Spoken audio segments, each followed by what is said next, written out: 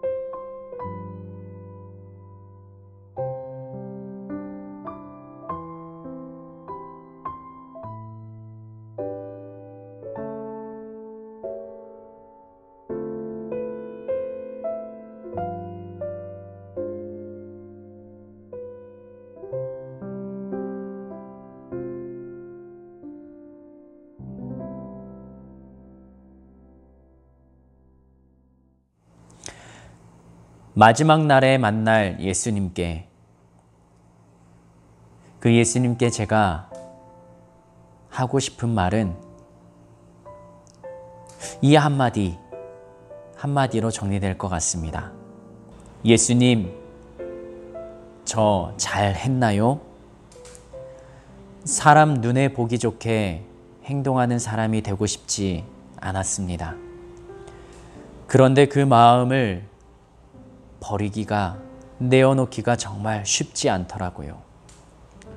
사람에게 좋게 하랴, 하나님께 좋게 하랴. 저는 사람의 기쁨을 구하는 자가 되지 않으려고 노력하고 있습니다.